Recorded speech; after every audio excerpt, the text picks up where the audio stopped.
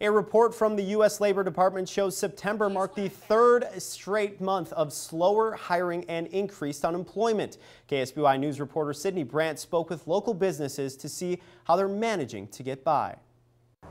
Many people in San Luis Obispo County have been affected by the economic challenges in the past few months, whether it's losing their job or changing how they do business.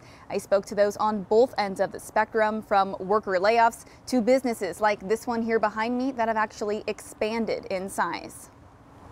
We went from like 11, 12 staff to like four people. San Luis Obispo resident Sarah Frederick laid off from Roku Ramen back in March. It was undetermined how long it was going to be. Filing for unemployment and receiving stimulus checks helping her make ends meet. Employment agencies like United Staffing Associates say positions in food service and hospitality have been a challenge to fill. Those would be positions that are offering $13 an hour.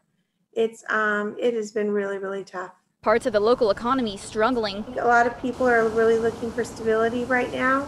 Hiring nationwide isn't much better, entering the third straight month of slower hiring. I'm still only part-time because of coronavirus actually. Still part-time, so I had to get another job. And in a time of uncertainty for many employed and unemployed. Things change day to day, week to week, so I just like best thing we can do is hope.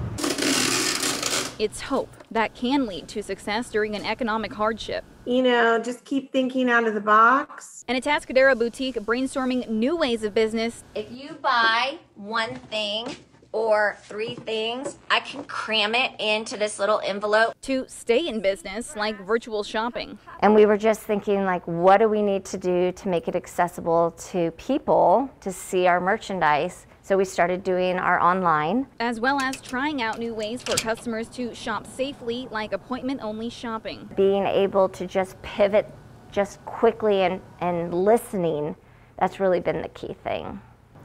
Patterson from United Staffing says that she admires small businesses being open-minded to changing and rolling with the punches, whether it's dining outdoors or trying new things like appointment shopping as the economy works to rebuild. Reporting in Atascadero, Sydney Brandt, KSBY News. According to the U.S. Labor Department's report, the number of jobs lost during the COVID-19 pandemic is greater than that of the Great Recession in 2008.